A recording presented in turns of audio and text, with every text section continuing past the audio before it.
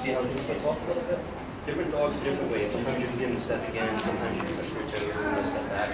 He doesn't do that, mine does. But um, another way, you take front feet off, you take his feet, right? Just make him step over himself, basically that. Yeah, see how he corrected himself?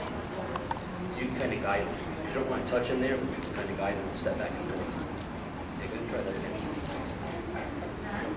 Strip above him, and just pull him over so he has to step over himself. And then he can fix his feet.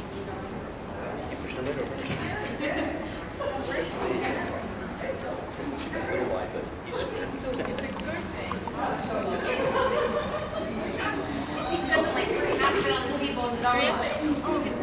No? A little bit wide for a start.